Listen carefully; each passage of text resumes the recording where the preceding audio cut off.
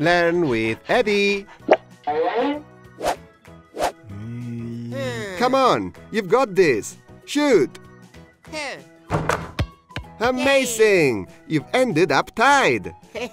We've had a great time playing princesses and dragons. Though I didn't expect the story to end the way it did, with you two playing basketball. Usually, a knight would fight the dragon.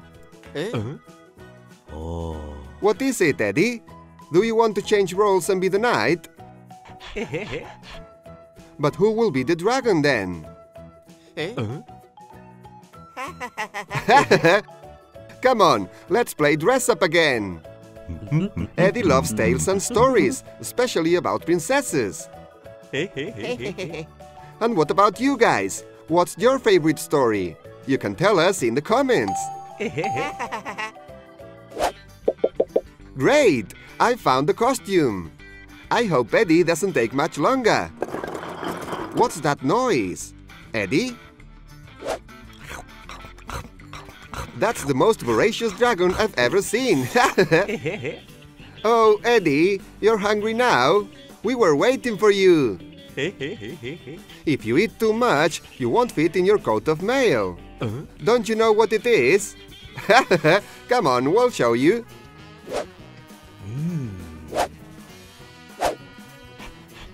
The coat of mail is an item of clothing that middle-aged warriors would wear to protect themselves from their enemies' strikes. It's made out of metal rings. Do you think you could point it out? That's your ski jacket. It'll protect you from the cold, but not from sword blows. Besides, I told you the coat of mail is made out of metal rings. Oh. Now you got it right, Eddie.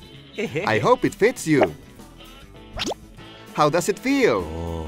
What is it? Mm. It's a tad heavy, isn't it? Mm. I told you it was made of metal, but look how shiny it is. Now we put on the knight tunic emblazoned with your order's crest. Uh-huh. That's right, Eddie. Your knight order. It's like the warrior club you belong to. No, not your basketball club, Eddie. Uh-huh. I mean the team you fight with. The knights that wear your same crest. Uh-huh. Well done! This is it, see? It has your order's crest on it. Uh-huh. The Order of the Roundstone Dino Knights. Wait, let's tighten it a bit. Pick a belt. A piece of rope. Don't be shabby, Eddie. Oh, I see. You were joking. That's it. The belt is the right choice. Wait, Eddie. You can't fight barefoot. You have to pick footwear that is fit for the battlefield. Wow, that was fast. That's right. Fighting in boots makes more sense than fighting in flip-flops or heels. All right, Eddie. Let's defeat the dragon. Or, well, let's play in the garden. All right. Are you ready? okay then. Let's begin. Once upon a time, a beautiful princess lived in a faraway castle. so funny! You look great in Eddie's costume. I'm going off script, sorry. She was a beautiful princess who lived happily in her castle. Until a fearsome dragon showed up one day. Hmm. I said a fearsome dragon showed up. You have to pay more attention, Eddie. But where's your dragon costume? we need a dragon that's slightly bigger and less adorable. Do you mind if we take a break from the story so we can dress up Eddie? In the meantime, you can start thinking of an ending for our story. And you too, guys. What will happen in this story of the princess and the dragon? Tell us in the comments. Come on, Eddie. Let's have a look in your wardrobe. I think we have a dragon costume somewhere. It's got to be one of these. But which one? This one? Okay, let's see. I don't know, Eddie. Dragons don't really have brown fur, and their tail mm-hmm. doesn't end in a fluffy brush. I think this might be a lion costume.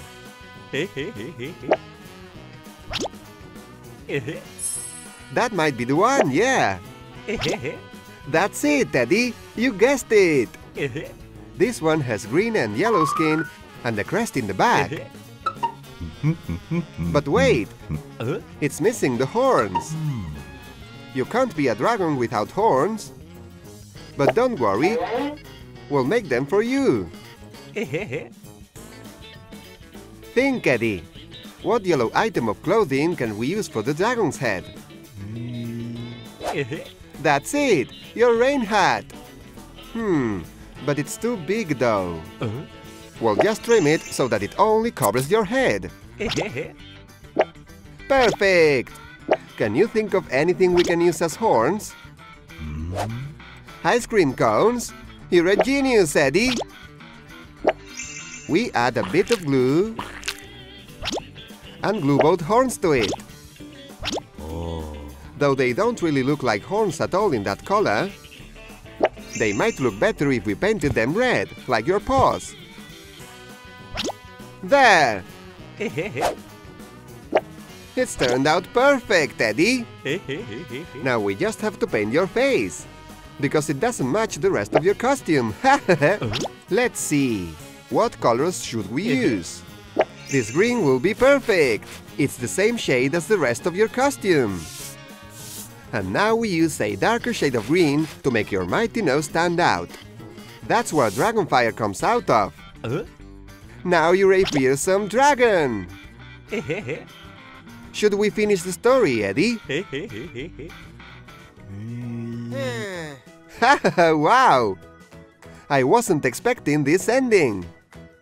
Yay! The princess beats the dragon in a basketball match. You're so imaginative. I thought a knight in shiny armor would show up to fight the dragon. Eh? Huh? What is it, Eddie? Hmm? Do you want to change roles and be the knight? Hmm. All right then. Let's dress you up again. Eh, eh, Hey, hey, hey.